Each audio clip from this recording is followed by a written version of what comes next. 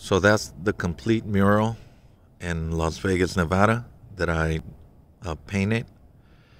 This is a deported veteran mural that uh, states pretty much what has been going on with deported veterans and with myself. And uh, I'm going to give a little explanation of what's going on with the videos. Over here, I got a, a piece of um, quote from a comic book in Captain America Civil War. And then on the center, I have uh, 13 gold stars for 12 deported veterans that have died. And in the center is Ashley Sestoma, the daughter of Olivia Segura in Chicago.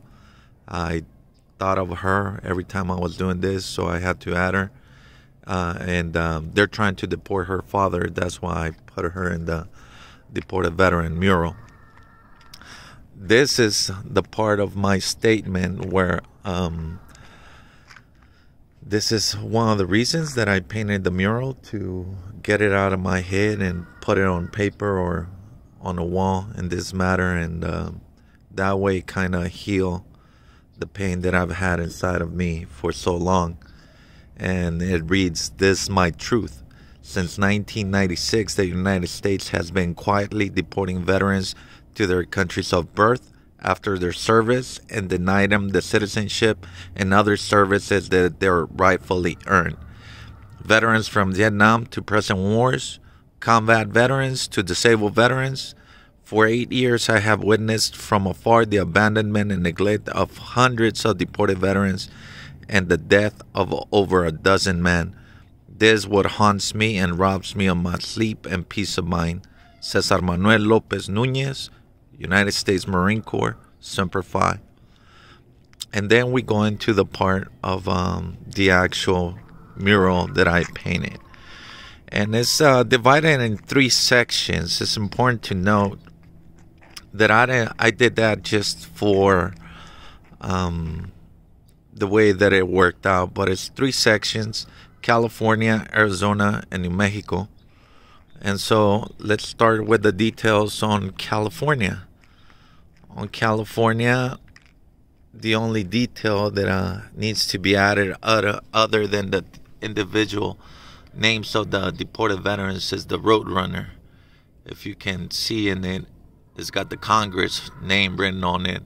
That on the back supposed to be a piece of parchment or paper that says congressional bills, HR 4890, HR 1405, HR 1078, HR 7601, and they have been dead on arrival. So I managed to do that in there. On the second section for Arizona, I have a moon depicted, which to me is is a, a way to acknowledge my wife that you know she's always there for me. Another section on the wall is the Aquarius constellation, which represents me. Over here, at the bottom of this mesa, there's a mini wolf that I painted into it. And if you can see, it's, it's trying to emulate a bunch of butterflies coming out of his howling. And um, that brings us to the section of New Mexico, where same thing. We have the wolf howling, and uh, the butterflies are supposed to be part of the howl.